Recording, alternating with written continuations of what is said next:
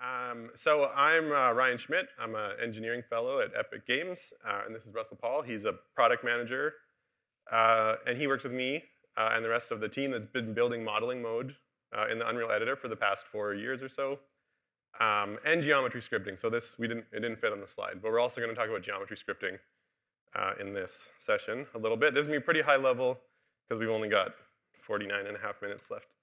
Um, okay, so modeling mode, geometry scripting, what are these things? If you just came to this session, you have not heard about this before. Uh, modeling mode is a, you know, an editor mode in Unreal Editor where you can create and edit meshes. So static mesh assets, also volumes, gameplay volumes, also something called dynamic meshes that we're not super going to get into uh, in, this, in this talk. But basically, doing your modeling like you might do in a DCC tool, but directly in the editor.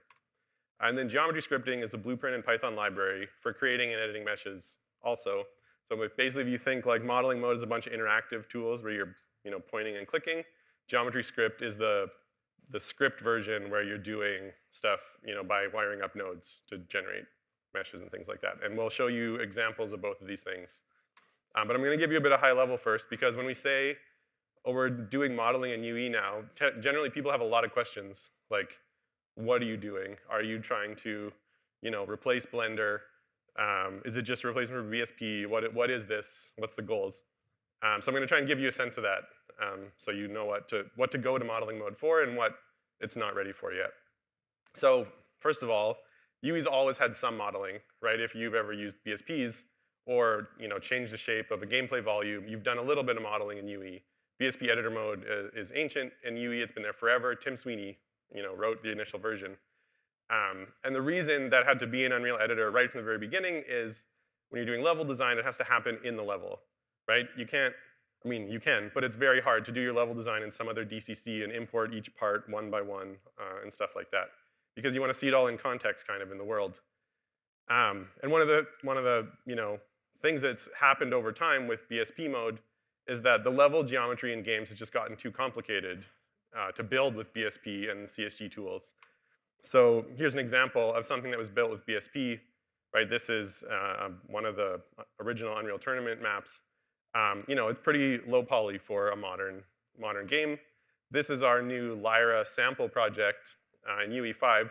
Right, if you just compare these two, we also think of this as like a, you know, essentially kind of almost just slightly above gray boxing uh, level. We're not, there's not really super detailed geometry here, but there is you know, rounds on all the corners in there, and the, instead of ramps, the stairs have steps, all sorts of stuff that building this in BSP would be really cumbersome. Uh, so, so, but you, you know, also building this piece by piece in a DCC would be, you know, really hard. So you want to do that in the editor. But if you were going to build the level out of meshes, right, you know, before modeling mode, essentially what that meant is you did have to make the pieces in an external DCC and continually re-import them right? And so you had all these iterations going to the DCC, making a little tweak, bringing it back to the editor over and over. If it wasn't something you could do with a basic you know, transform, you're iterating like that with an external tool. Um, you know, and then if you ended up in a situation where you wanted to avoid those re-import iterations, your other option was to essentially take part of your level and export it to a DCC. Uh, and we saw internal artists doing this a lot you know, they can end up exporting millions of triangles to an external DCC just so that they can design a, something that fits in there. Um, so it's real painful. And so really the motivation for all of this was like, what if you could do that modeling directly in UE? That you know, your iterations would be fast and easy. That's the, that's the idea. And I'll show you kind of an extreme example of that. Um, so this is from the Ancient Game uh, sample project, or Valley of the Ancients. Uh, and so this level, you know, this wasn't hand modeled each vertex. This is mostly Quixel assets that have been kind of kit bashed together. You know, on the screen right here, because of Nanite, we're looking at like effectively hundreds of millions of triangles, possibly even billions. I'm, you know, we don't even really think about it anymore. Um, and you know, that's that's awesome. But maybe your uh, art director comes and is like, well, you've got those stairs there, in, you know, in front of that little archway, and we want those to just be a little bit curved, right? This is the kind of thing I've seen art directors say to the artists. Um, and so, you know, if you're the artist, you're like, well, that's, that asset isn't curved. It came from Quixel. It's like, it's a scan mesh with two million triangles, and I gotta somehow bend it right? So I gotta take it into Maya, do a bend deformer, re-import it. Re-importing 2 million triangles takes a long time, right? And then that's not quite right, I gotta tweak it a little bit. So, you know, with modeling mode, now our, our, our Quixel artists who built this level can do that right in the editor. They can just bend that piece. Now they're editing the asset, so this isn't some kind of runtime deformer. This is gonna change the shape of that part, but they can do it and they can try lots of variations really quickly. And so this is when I say avoiding iterations with external DCC, this is what I'm talking about. Um, and if you want to see like a lot more examples of what our Quixel artists do with the Quixel assets and this kind of stuff, uh, this is actually now quite old. They did this in 2020 and it was published in 2021. They built this medieval village out of Quixel assets and using the modeling tools. And they have a series of videos uh, showing how they use the modeling tools. So this, this house here uh, is built all out of Quixel assets, but you won't find any of those shapes directly in the Quixel library because they took them and they customized them to build this house. They, they bent things, you know, they reassembled them in different ways, the different pieces, stuff like that. Um, they have the roof here, they you know, used our sculpting tools to kind of rough it out, and then they did some blueprint stuff to tile the thatch scans over top of it and things like that. So this is a really interesting if you want to kind of get a sense of that workflow, um, which we kind of see as a sort of future workflow of working with asset library content. And this leads us to the other big reason we had to do this, is that when you start working with nanite scale content, you start to really struggle with a lot of DCC tools. Like if you try and bring a 2 million triangle mesh into most DCCs, they don't love it. They're not really designed to work with 2,000 or sorry, 2 million triangle raw meshes, right? Uh, they work with 2 million triangle sub-D meshes, which are sort of more efficient, but that's not what you get out of a 3D scanner. Um, and really, any kind of unstructured triangle mesh data, even if it's not 2 million triangles, uh, you really tend to struggle with that in DCC tools. And there's, there's like lots of specialist tools for working with scans and repairing scans and all that kind of stuff. Uh, and that's, you know, and also things like from asset stores where they might have been already pre-optimized for game use. Um, DCC tools generally don't focus on that as a type of thing you want to work with, but in, in a real-time engine like Unreal, this is what you have almost all the time. And so modeling mode is trying to you know, solve these problems, um, make it easy to work with that kind of stuff, to do what you need to do. So here's a sort of simple example. You know, mesh booleans are a thing that everyone is familiar with. We've built our mesh booleans to be able to handle these huge meshes. Um, so these are two 2 million triangle Quixel. A lot of them are 2 million triangles. That's a very standard, like Quixel put, tends to make things certain sizes. So they are generally 2 million triangles, plus or minus a couple. I'm always saying that. Um, so what I want to do is I want to make a cave in this part on the left. So I'm just going to take this part on the right. I don't want to model that cave because I'm not a good modeler. So I'm just going to stick this in there and subtract it. Now these are nanite meshes right now. Like if you zoom in, you see they're super high res. And you notice also this one, it's got a giant hole in the back. So this is usually a situation where you say, I'm going to do a mesh boolean. This could be real bad. There's people shaking their heads. Yeah, it's usually not great. So this totally works though. Our mesh boolean, uh, we built it in a way um, because we don't, I'll get to this later, because we don't support polygons, we only support triangles, we can do this much more robustly. It did take about a minute to do this, to do the compute the Boolean. Um, but it totally works, comes out nice and clean, and I've made a cave in here essentially by just mashing up these two assets. So when I say like people are kit bashing these Quixel assets, this is the kind of stuff I mean. You're like using them in creative ways to make new content uh, that isn't just from directly from the content library. Um, let's go to the next one. Um, another problem that we've uh, worked on is UVs. So, you know, no one likes UVs in general. No one likes to UV something that's a couple hundred thousand triangles or a couple million. So we have this new method called Patch Builder. Uh, so this is recorded in real time. This is 170,000 triangles, you know, and it auto UVs this thing in a couple seconds. Um, and it can go up to millions of triangles. Millions of triangles will take you like a minute or two for around one to two million. Um, and there's settings and stuff like that. I'm not going to get into. You know, I wouldn't say this is the perfect solution yet, but this is the kind of stuff we're trying to simplify because then once you once we can auto UV these high-res models, then we can do things like also in the editor bake down to lower poly stuff. So here I've taken a raw scan. This is a raw reality capture scan. It's got holes. It's got stuff we didn't want in the scan. It's got this base on it. And I've purely in the editor, editor tools, cleaned it up into like a clean scan that I might use as an asset. And then I've baked it down. So I baked uh, all the different color maps and normal map down to 2,000 triangles. Um, so there's a, I have a video series about this on YouTube um, that we'll mention at the end um, about completely doing this in the editor.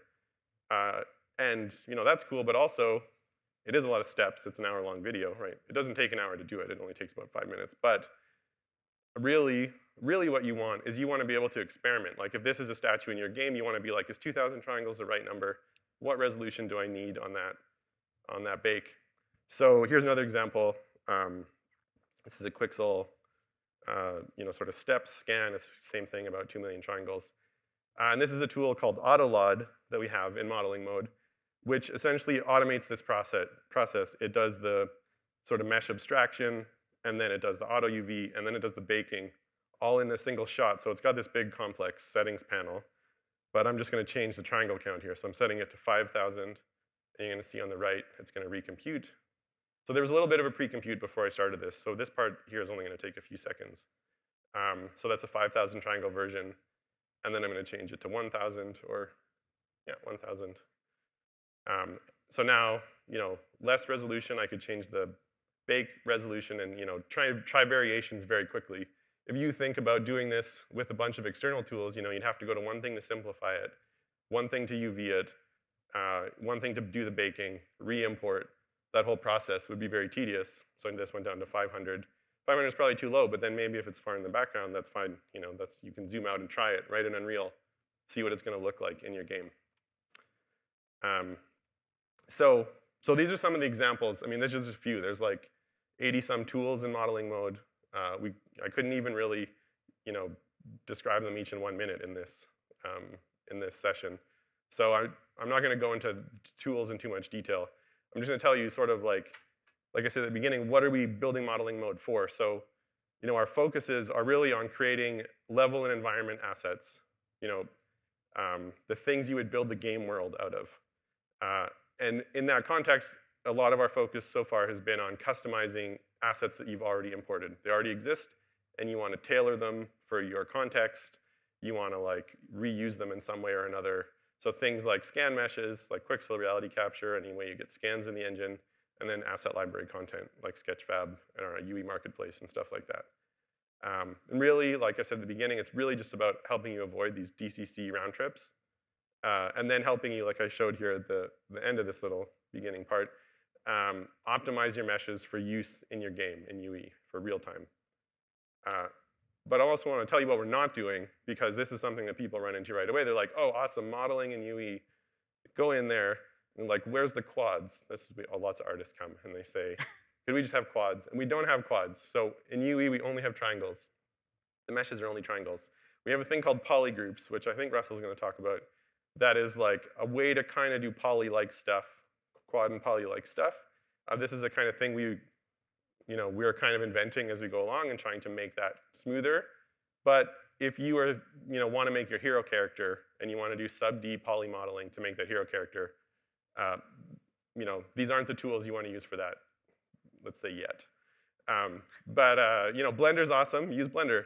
Um, if you want to tweak that stuff after you brought it in, we can do a lot of that. Um, but uh, just to be super clear that you know, our focus for our kind of uh, polygroup modeling that we've been doing so far is really about things like level blockout more than you know, high-end poly modeling. Um, and currently, we don't really have any texturing or painting tools. Um, we've so, sort of focused more on this sort of like uh, material-based stuff where you're using tiling textures and you know world space projection and things like that. Um, but this is something we're looking into. Uh, and so Russell's going to give you a, a, demo now, but I was just going to mention before that, uh, you know, we've only got a bit of time here for demo. So um, there's a video from the state of Unreal 22 when we launched 5.0. Uh, Arran Langmead, one of our evangelists, made uh, where this whole scene here you know, just to give you a sense of what you can model from scratch already, this whole scene here he builds up from scratch in this video, um, except for the characters. But all of the sort of rocks and bridge and stuff like that, this isn't Quixel content. This is all created in the editor uh, and sort of assembled in, in interesting ways. Um, but to give you a, sort of flavor of how that works, I'm going to hand it off to Russell. He's going to show you things. Thanks, Ryan. Uh, I'm going to do a, there's the tab button on this thing. All right, so hey everybody, um, good to good to see you, although I can't see through the light source here. Let me, um, I got ahead of myself with this, uh, what we were working on earlier.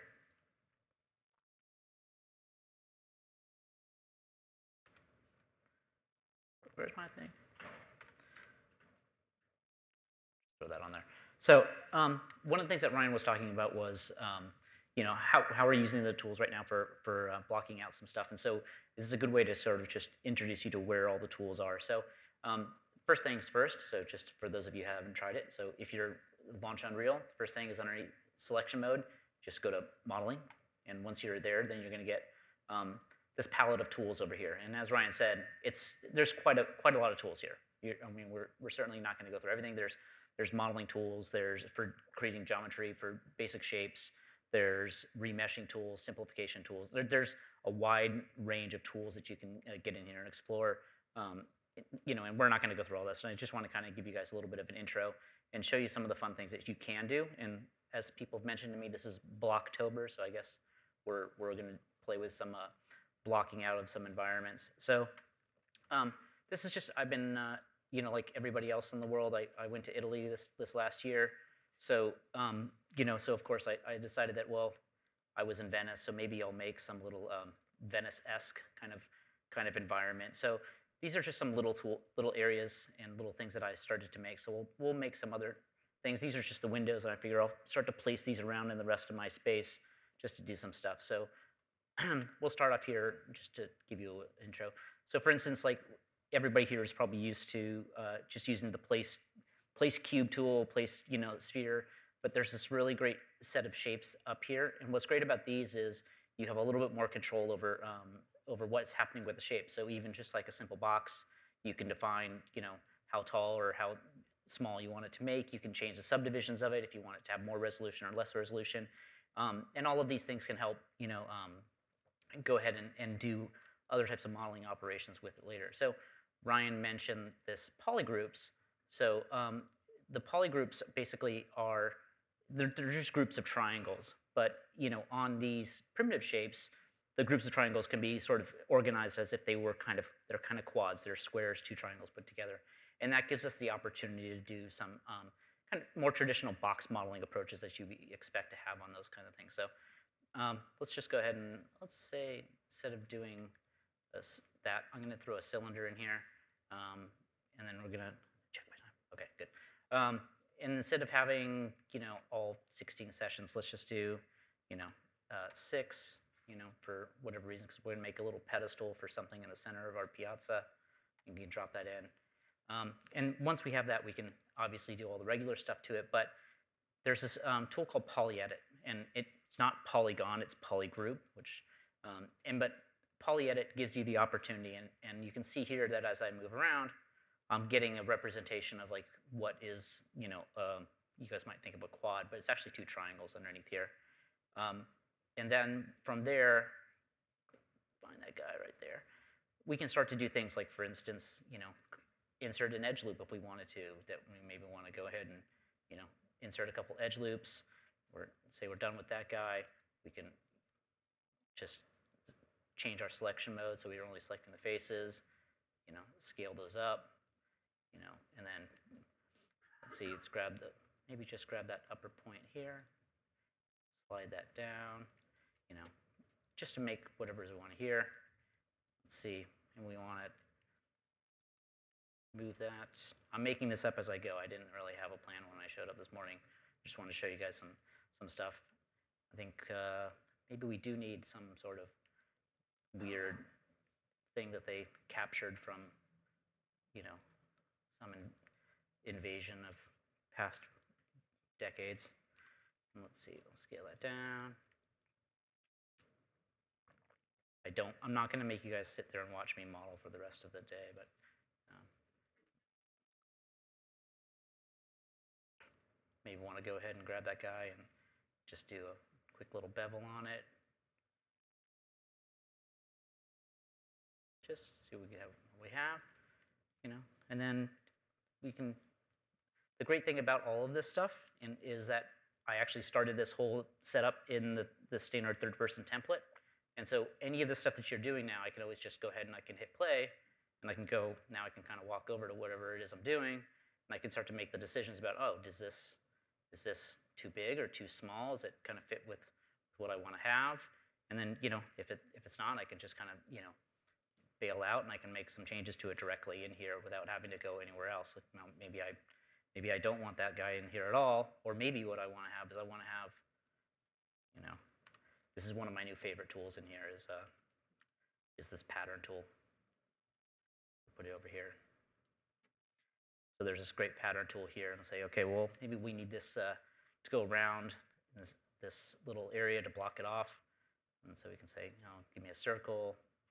Let's move this guy over here, you know, and you can, maybe these need to be less or more, whatever it is, you know. So you can do all sorts of really fun stuff by just actually just quickly kind of iterating through these things.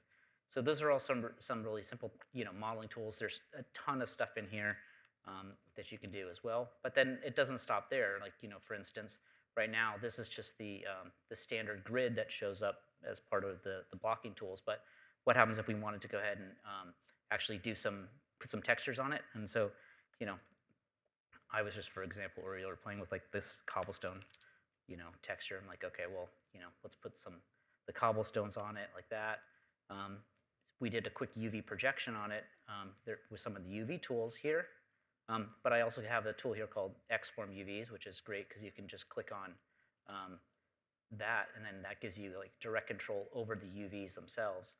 You know, so if we wanted to go ahead and tweak the UVs, so I'm not actually having to go in and tile the map or do anything like that. It works on directly in the UVs. And if you wanted to go a step further, you could actually take the object itself right here, and there's a UV editor button right just right here. You can just click on the UV editor, and now we actually have, you know, sort of your more classic 2D UV editing um, tool, so you can go ahead and, you know, decide if I want to go ahead and, you know, select some edges in here, you know, and, and cut them and, and lay them out, or maybe I just want to select my islands here. Oh, it's too small. Select my island, you know, and then and then move it around or scale it and that's actually adjusting the UVs of the, of the, um, of the mesh. So these are all sort of small little tools that really are helping you to avoid those, like we said, avoid those round trips of going back to the DCC. Oh, I just want to scale the UVs. I just want to get some, tweak something that, that's broken. I want to, ex, you know, cut a piece off of something or build a little cube and extract it out into a building. And then I want to, you know, go ahead and see that kind of stuff. So all of these things are there to help you do that stuff. And, and the best thing about it is, is that at any time you can just kind of go back to your starting point, and then you can, you know, go look around, see what this is, you know, and then when you're done in this little space, then, you know, I can't run very fast, sorry. You know, those, obviously those are too big. But, you know, you can start to explore other places, you know, in your little town right here, you know, I started to block out my, my steps. I use the, uh, the step shape tool here to, you know, do my steps and starting to put my little canals and my water out in a space.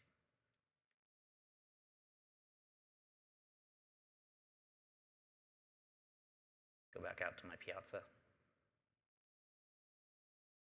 You know, and all of these buildings here were all just sort of, you know, simple, simple cube shapes with the quick little library of windows and elements that I have that I can then drop in, and then I can, you know, continue to upres and, and add detail to any one of those as I need.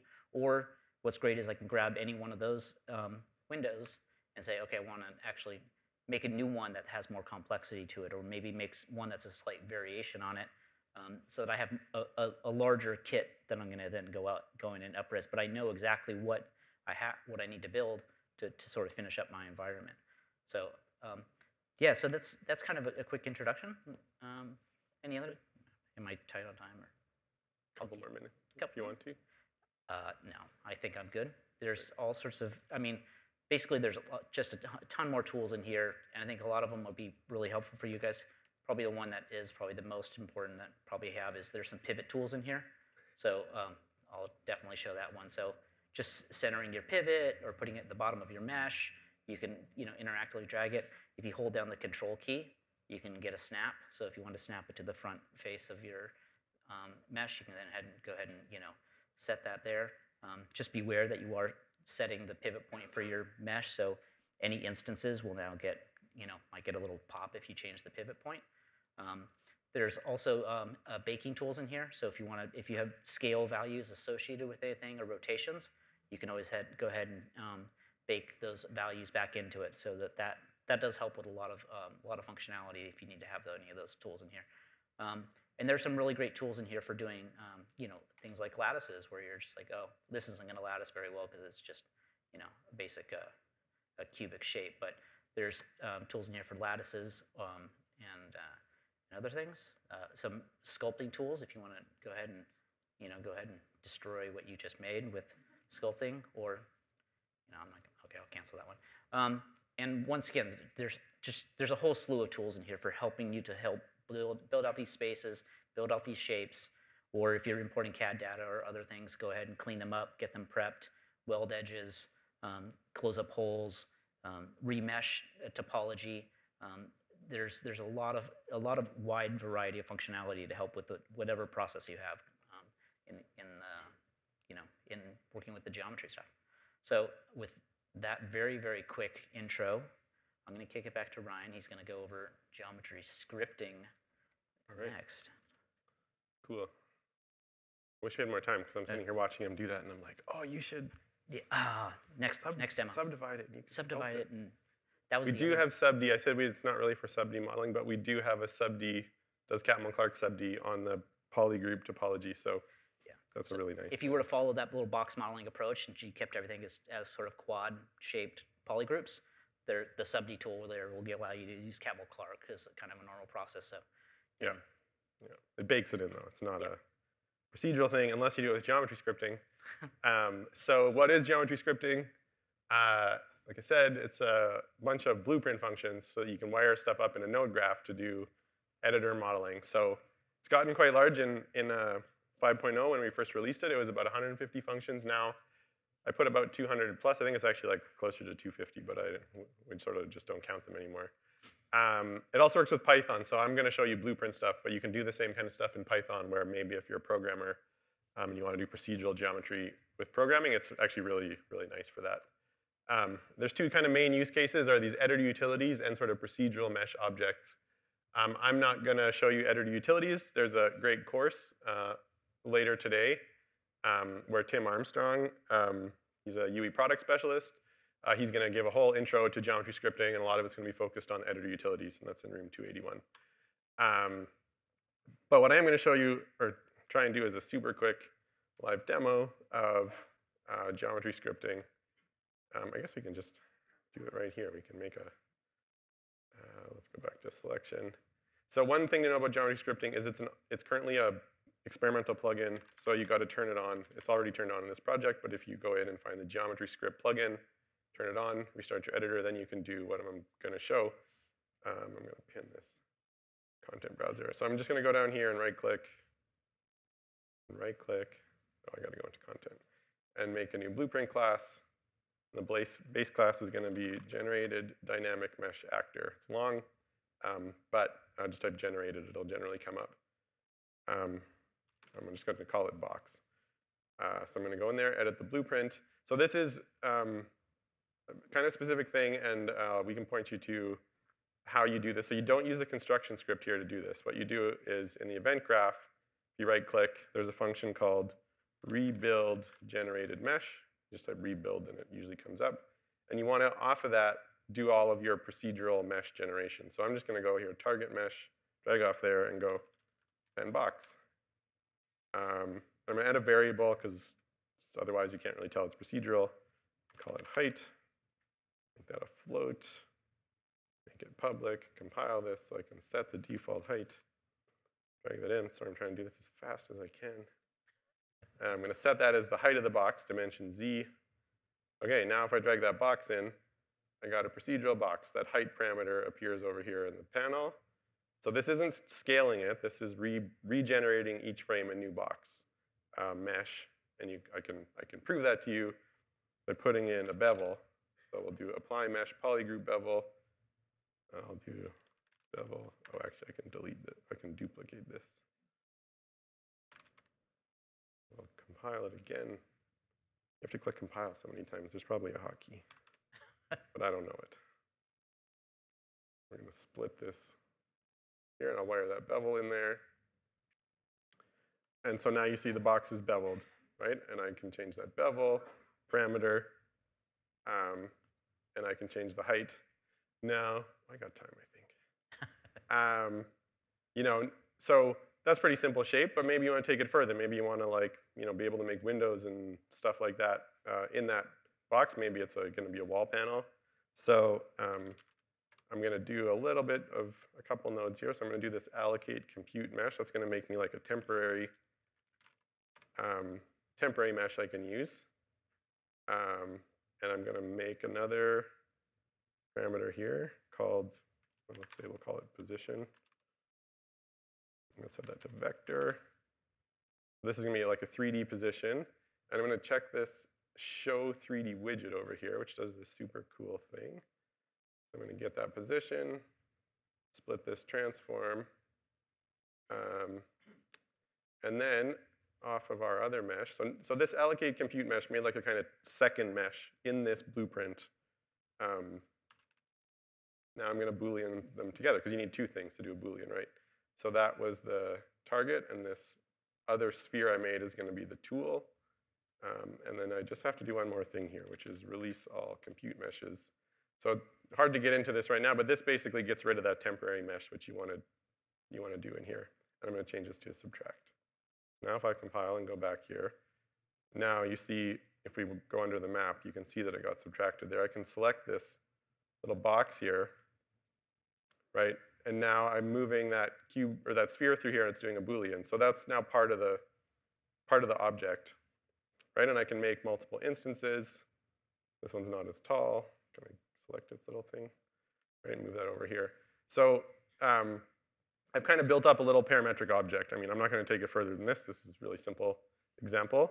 Um, but I'm going to show you some sort of more, uh, much more extensive things that people have done. Uh, and it's essentially the same process. You're just kind of building out a blueprint with these nodes doing, doing mesh operations. The range of operations on a there's 250 go from being able to like triangle by triangle build up a shape to very high level operations like baking. You can do our, the baking I mentioned before, you can do that in script um, doing things like voxelizing something or voxelizing a bunch of things. Uh, and actually the demo I'm going to show you, this is a video of one I made. So the same, exact same stuff I showed, just you know, spending more time. So I'm using raycast to place boxes on this bunny, all as one mesh, and then I'm throwing some of them away and making them spheres, and uh, kind of uh, turning them to an SDF and blending them together, and then doing some mesh smoothing and remeshing to make this kind of green goop on this bunny. And so this would work on any shape, basically. I set the target for that blueprint mesh as this bunny, so I could change that to anything else. Um, um, and that took me like maybe half an hour to build that blueprint.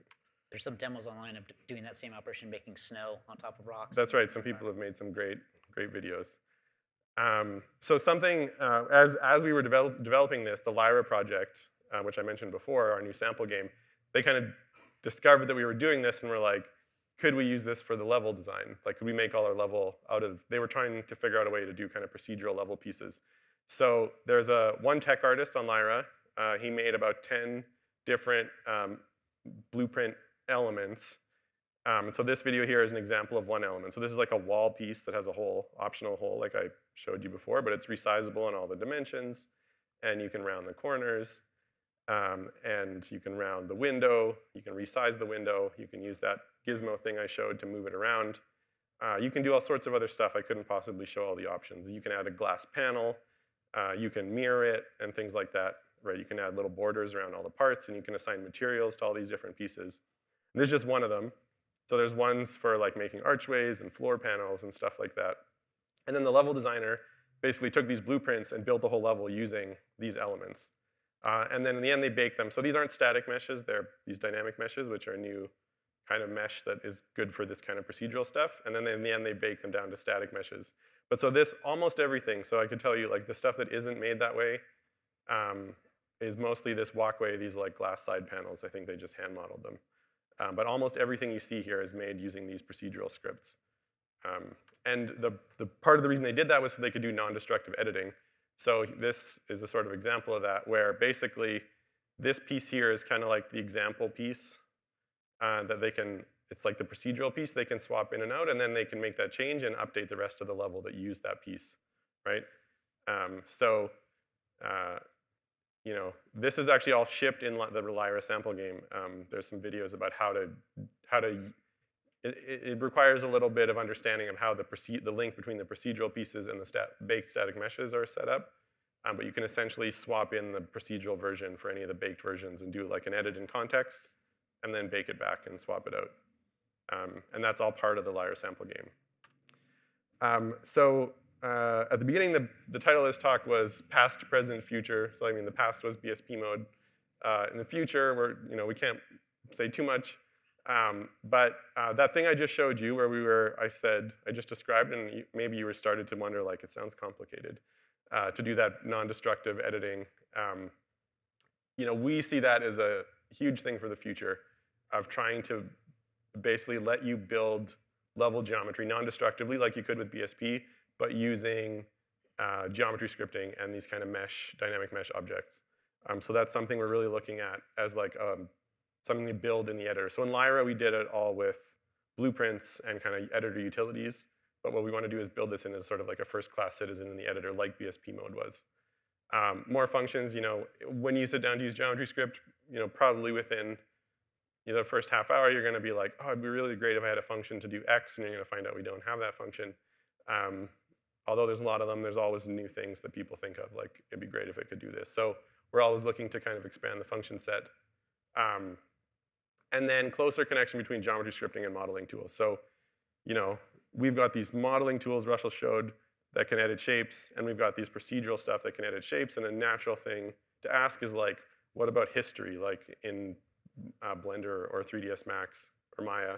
And so, you know, maybe you can imagine ways to put these two things together, uh, and we're thinking about that too, about how we can um, sort of somehow uh, bring together the proceduralism and the interactive modeling.